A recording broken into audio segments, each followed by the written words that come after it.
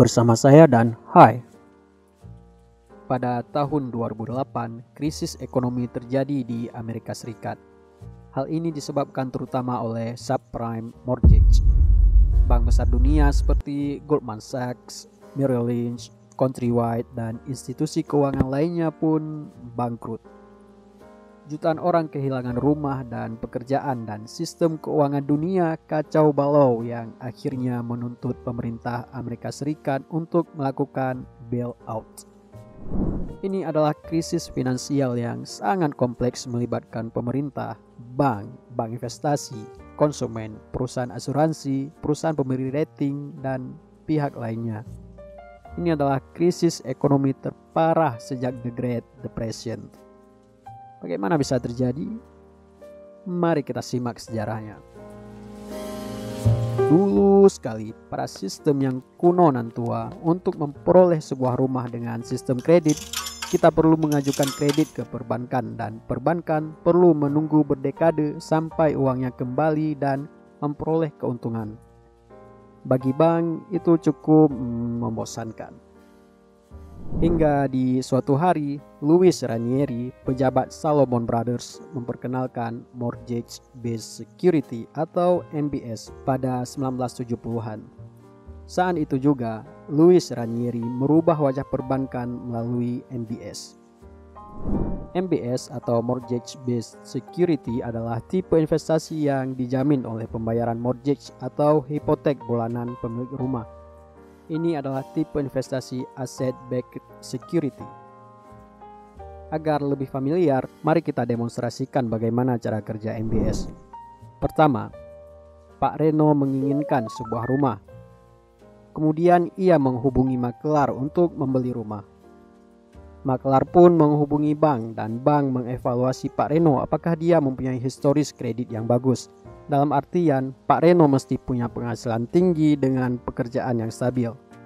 Setelah itu, jika Pak Reno dianggap pantas, maka bank akan meminta down payment atau DP kepada Pak Reno dan bank memberi pinjaman kepada Pak Reno dan Pak Reno pun membeli rumah. Bank kemudian menerbitkan mortgage atau hipotek kepada Pak Reno yang mesti dibayar setiap bulan dengan bunga yang ditentukan.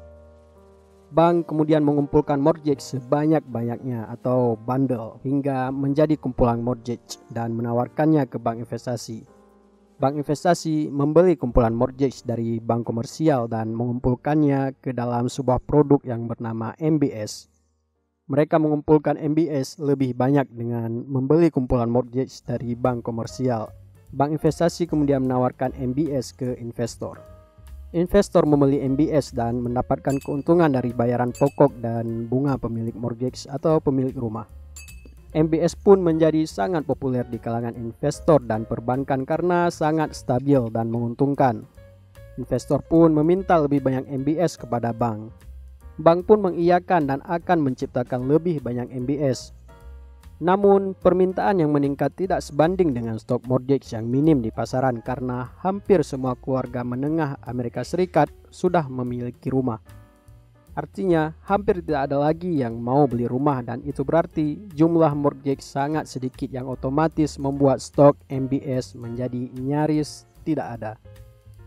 Pada periode itu, Penjualan rumah as stagnan dan bank mulai kehabisan ide, namun di satu sisi mereka cukup rakus akan uang.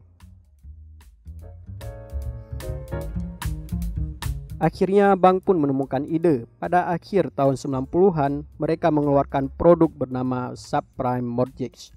Mortgage yang dapat dimiliki oleh orang dengan kemampuan finansial rendah untuk memiliki sebuah rumah. Cara kerja subprime mortgage sama dengan mortgage biasa atau prime mortgage, hanya terdapat beberapa perbedaan. Pertama, Pak Heri ingin memiliki sebuah rumah, tetapi penghasilannya sangat rendah. Makelar pun mendatangi Pak Heri dan menawarkan mortgage. Makelar kemudian menghubungi bank dan bank menyetujui walau Pak Heri memiliki penghasilan rendah dan tidak ada kerja tetap. Bank pun menerbitkan subprime mortgage dengan kriteria tanpa down payment dan dengan adjustable rate mortgage yang pada dua tahun pertama bisa saja bunganya sangat rendah namun di tahun berikutnya bisa meroket tajam.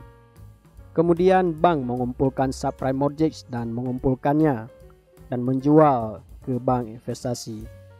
Bank investasi membeli banyak kumpulan subprime mortgage dan memasukinya ke dalam CDO atau Collateralized Debt Obligation. CDO adalah sebuah produk investasi yang berisi MBS dan produk lainnya seperti pinjaman kartu kredit, pinjaman pelajar, dan lainnya. CDO dibagi ke dalam tiga tranches atau strata. Strata 1 dengan rating AAA yang berarti investasinya cukup aman. Strata kedua dengan rating BBB ya masih aman lah dan strata ketiga dengan rating BB yang berarti sangat berisiko. Subprime mortgage terkadang dimasukkan ke dalam CDO lapisan BBB atau BB. Pertanyaannya, kenapa bank mau mengeluarkan produk subprime mortgage padahal kemungkinan gagal bayar atau default dari pemilik rumah sangat tinggi? Well, pada dasarnya karena harga rumah terus meroket dan jika pemilik subprime mortgage atau pemilik rumah yang berpenghasilan rendah gagal bayar, bank komersial hanya perlu menyita rumah tersebut dan menjualnya kembali ke pasaran. Dan bank komersial masih tetap mendapatkan untung karena harga rumah terus naik sepanjang waktu. Bank investasi juga tidak peduli subprime mortgage punya bunga tinggi dan yang penting mereka bisa menjual MBS yang diminta investor. Oleh karena itu, subprime mortgage begitu laris diikuti dengan harga rumah yang terus menggelembung tinggi. Semua orang berpesta, orang suka uang. Diiringi meroketnya harga rumah, bank semakin gila dalam hal subprime mortgage. Bank memberi subprime mortgage kepada pembeli rumah tanpa meminta slip gaji dan tidak peduli apa pekerjaannya, yang artinya pengangguran tanpa pendapatan pun bisa memiliki rumah. Pada saat itu, pinjaman subprime mortgage melonjak gila-gilaan.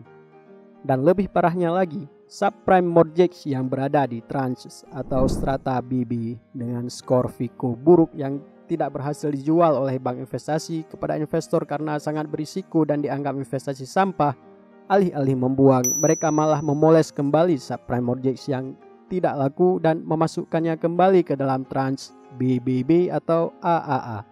Lah pertanyaannya, kok bisa? Jawabannya, mereka membayar perusahaan kredit rating seperti S&P, Moody, Fitch, dan lain-lain untuk memberi rating bagus atas produk investasi sampah mereka. Tidak ada yang menyadari. Kegilaan ini pun dinikmati selama beberapa tahun saat orang dengan subprime mortgage mulai gagal bayar atau default, bank menyita rumah dan menjual kembali ke pasaran. Bank masih untung. Namun ternyata gagal bayar meluas di beberapa wilayah Amerika Serikat. Tapi The Fed dan pihak lainnya mengatakan kalau itu sifatnya regional dan sementara. Di kondisi ini, beberapa orang melihat ini sebagai bom waktu yang akan meledak. Orang-orang itu akhirnya bertaruh melawan pasar perumahan Amerika Serikat melalui Credit Default Swap atau CDS. Mereka yang memprediksi pasar perumahan Amerika Serikat akan runtuh tak lama lagi, kemudian mendatangi perusahaan asuransi dan menawarkan untuk mengasuransikan obligasi mortgage mereka. Perusahaan asuransi dengan senang hati menerima tawaran tersebut karena tidak mungkin pasar perumahan Amerika jatuh dan mereka pun membuat produk asuransi bernama Credit Default Swap atau CDS. CDS bekerja layaknya asuransi. Pihak pengaju CDS wajib membayar premi rutin kepada perusahaan asuransi dan perusahaan asuransi wajib membayar ganti rugi kalau pasar perumahan Amerika Serikat jatuh. Namun berbeda dengan asuransi pada umumnya, CDS tidak diregulasi sehingga perusahaan asuransi tidak punya dana cadangan untuk membayar klaim jika pasar perumahan Amerika jatuh. Perusahaan asuransi mengeluarkan CDS gila-gilaan pada saat itu. Di sini, harga rumah masih stabil dan perusahaan asuransi bergabung dalam pesta yang siap untuk berakhir. Foreclosure rate makin naik karena orang-orang mulai gagal bayar dan rumah mereka disita. Awalnya tidak terlalu bermasalah hingga pada tahun 2008 foreclosure rate mencapai angka tertinggi dan banyak sekali orang dengan subprime mortgage gagal bayar dalam waktu bersamaan. Jutaan rumah disita oleh bank. Bank pun menjual rumah dengan jumlah sangat tinggi ke pasaran, sementara permintaan sangat rendah. Di sini hukum ekonomi mengambil peran. Gelembung perumahan pun pecah. Harga rumah terjun bebas. Pemilik mortgage biasa atau prime mortgage pun meninggalkan pembayaran mortgage mereka karena nilai rumah berada jauh di bawah nilai mortgage yang harus mereka bayar. Kondisi semakin parah Bank sangat panik. Mereka tidak tahu ke mana harus menjual rumah sebanyak itu. Bank investasi kesulitan menjual MBS dan CDO karena harga yang ikut jatuh. Bank-bank besar pun mulai dinyatakan bangkrut. Dan secara resmi, pasar perumahan Amerika Serikat runtuh. Di lain sisi, pemilik kredit default swap mengklaim asuransi mereka atas jatuhnya pasar perumahan Amerika Serikat senilai ratusan miliar US dollar. Namun perusahaan asuransi tak punya uang cadangan untuk membayar klaim tersebut. Secara resmi, bom waktu telah meledak dan sistem finansial Amerika Serikat macet dan membeku. Dunia pun ikut kecipratan krisis.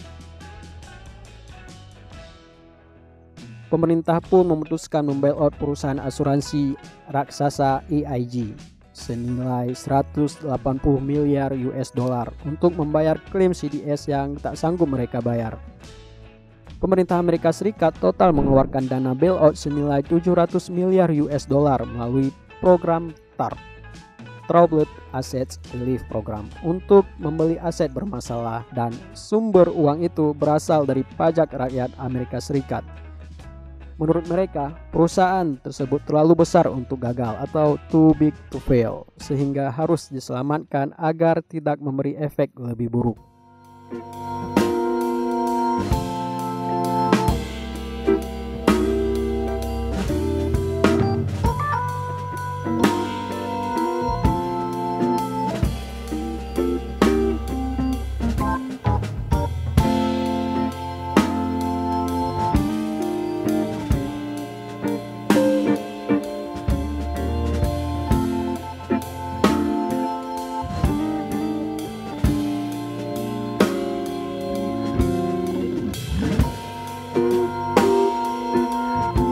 Okay, thank you guys for watching. See you later.